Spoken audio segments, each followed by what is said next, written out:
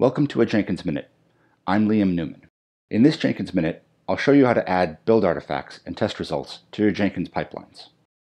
For this example, I'm using a private fork of the Jenkins Logstash plugin. I've created a pipeline for this project, and it's succeeding, but it isn't reporting test results or giving me any build artifacts. I'll add the steps to collect those now. I've started a feature branch in which I'll make my changes. And here's my pipeline with its two stages one that runs my build script, and another that runs my test script. First, I'll add my archive artifact step.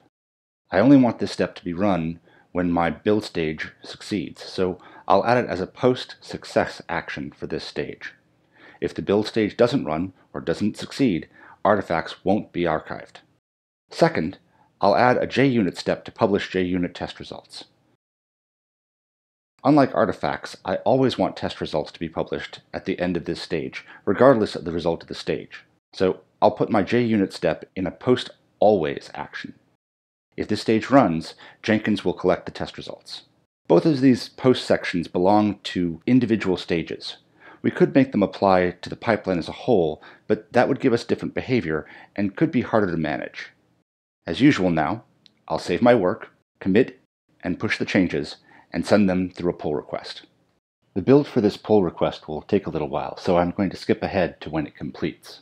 When I look at the details for this pull request run, Jenkins now tells me all of my tests are passing, and it has an archived artifact for this build. I'm going to skip ahead to after this pull request has been merged to master, and show you the effects of these changes on two future pull request runs. Future runs with test failures, such as pull request 3 here, will show up as unstable runs. Unstable runs will still have archived artifacts because the build stage succeeded.